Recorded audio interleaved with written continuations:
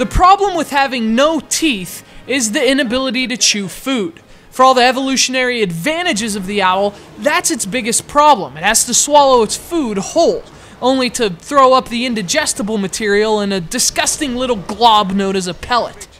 It's smart then that developer Krome Studios left all mention of pellets on the cutting room floor during this game's development.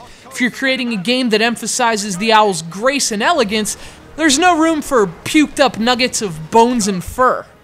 Now, I only bring it up because, in a sense, Legend of the Guardians, the Owls of Ga'Hoole, reminds me of that unsightly digestive process. As pellets are to owls, so is this to video games. Stop it, the two of you. Shameful.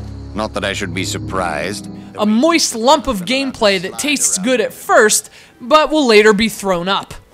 Based on the CGI adaptation of Kathryn Lasky's Guardians of Ga'Hoole novels, The Legend of the Guardians is essentially a game of feathery flight combat. Now, I'm no ornithologist, but after closely observing its behavior in Legends of the Guardians, I'm convinced that the owl has a genetic relation to the fox. Or at least the star fox.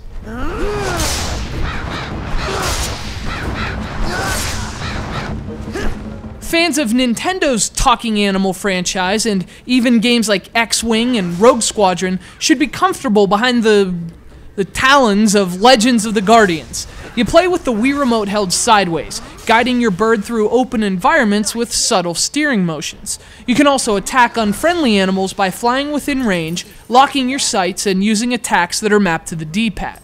Now, the combat works, and the ability to counter attacks with well timed button presses feels satisfying, at least at first. The problem is that nothing changes. You wait for things to evolve, for the gameplay to progress, but it doesn't. And as a result, Legend of the Guardians feels too simple and repetitive to keep you engaged, even for its very short duration. But at least the combat works. The biggest problem with Legend of the Guardians is steering your owl. Motion controls are sometimes a more precise alternative to analog sticks, but sometimes they're not. Case in point, using tilt to steer.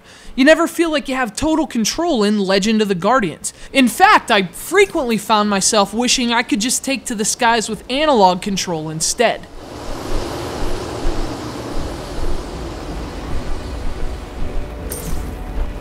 Good motion controls create a kind of seamless symmetry between what you're doing and what's happening on the screen. They don't make you wish for a WaveBird. Unfortunately, Legend of the Guardians does, and among the many things it doesn't do is learn from the mistakes of tilt-based flight games like Lair. Although it's not as bad as one might expect from a game based on another terrible movie, it's not exactly worth putting on your radar either. For all the things it does with surprising competence, there's a lot in the very short and awkwardly controlling Legend of the Guardians you won't be able to digest.